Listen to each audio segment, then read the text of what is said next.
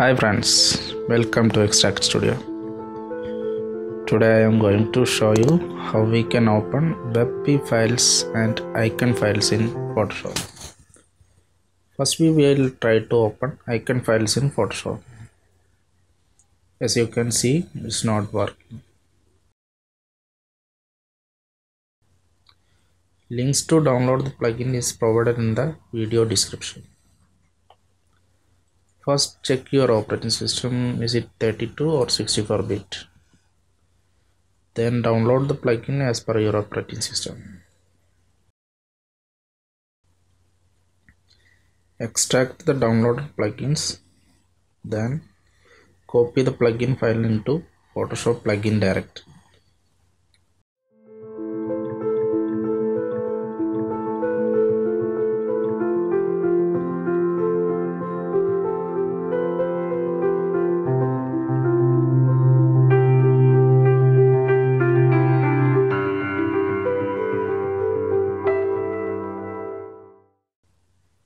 now we can try to open the icon files.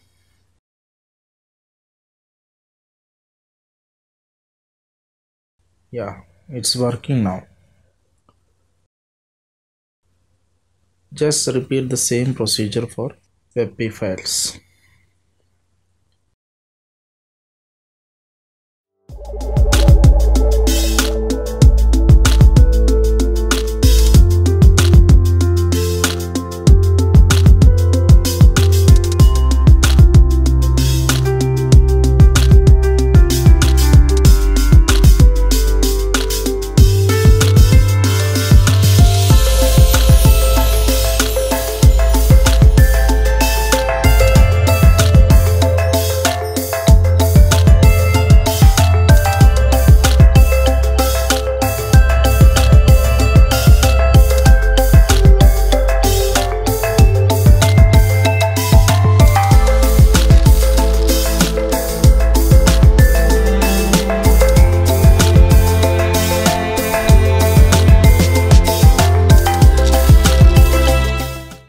hope you like this video.